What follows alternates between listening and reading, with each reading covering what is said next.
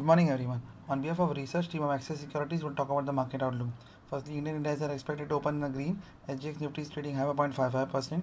Things to watch out for. Results: Aarti Industries, Aditya Birla Fashion, Allahabad Bank, Gillette India, JSK Consumers, Gujarat Gas, Kesoram, Nilkamal, Rain Industries, Relaxo, SpiceJet.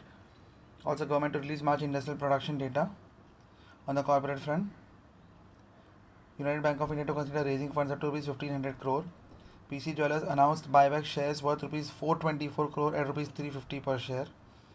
The thematic front, discuss about the packaging space, and we like Mold-Tek packaging because uh, it is it is into packaging of paints, lubricants, and food and FMCG.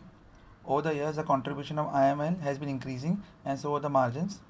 The next growth trigger for the company would be the food and FMCG, where it has increased its share from 5% to almost 17 to 18% this year, year on year basis.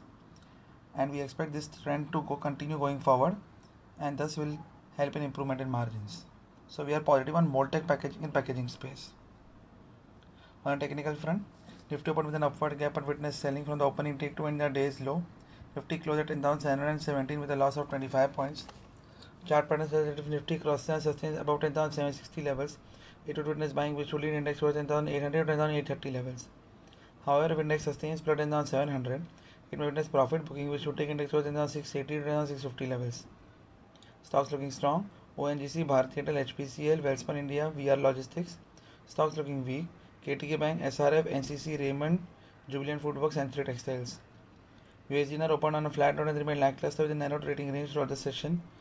USDNR closed at 67.41 with a gain of 0.04%.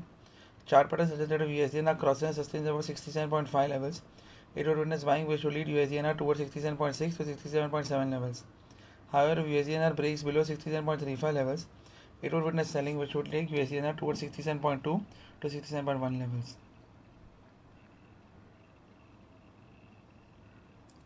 On the derivatives front, Nifty futures closed at 10,724.9 on a negative note, with 1.27% decrease in open interest indicating long unwinding.